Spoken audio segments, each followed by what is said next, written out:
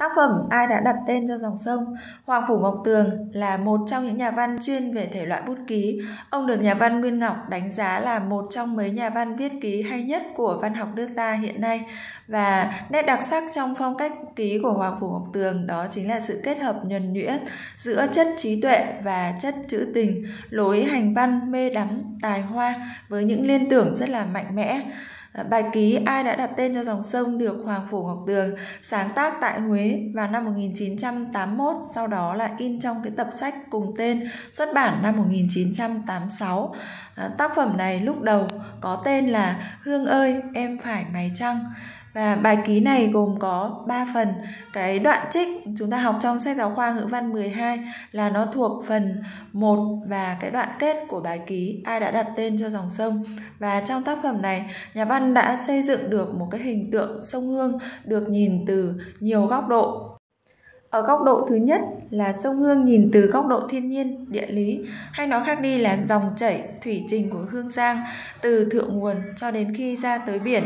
Ở góc độ này thì đấy chính là toàn bộ các cái đoạn văn, năm đoạn văn đầu tiên uh, của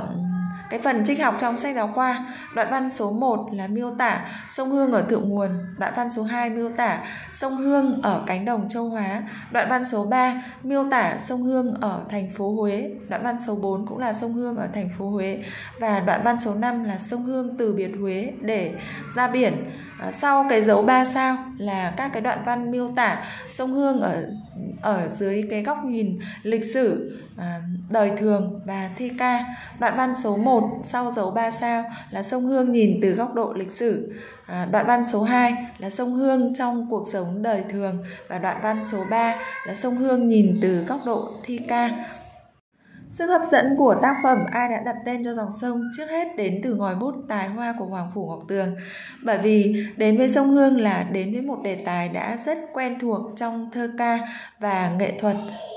trong tác phẩm, nhà văn đã ờ, tạo dựng được những câu văn đẹp được dệt nên từ cái kho từ vựng rất là phong phú, uyển chuyển và giàu hình ảnh. Đặc biệt, nhà văn sử dụng thành công các biện pháp tu từ tiếng Việt như nhân hóa, so sánh, kết hợp với những cái liên tưởng phong phú, độc đáo, tạo nên những cái cách nhìn rất là đa sắc về sông Hương. Có thể nói tác phẩm chính là ừ, cái sự kỳ công đúc câu luyện chữ của nhà văn Hoàng Phủ Ngọc Tường và đây được coi là một trong những tác phẩm hay nhất viết về sông Hương và một trong những tác phẩm ký à, đặc sắc nhất của nền văn học Việt Nam hiện đại.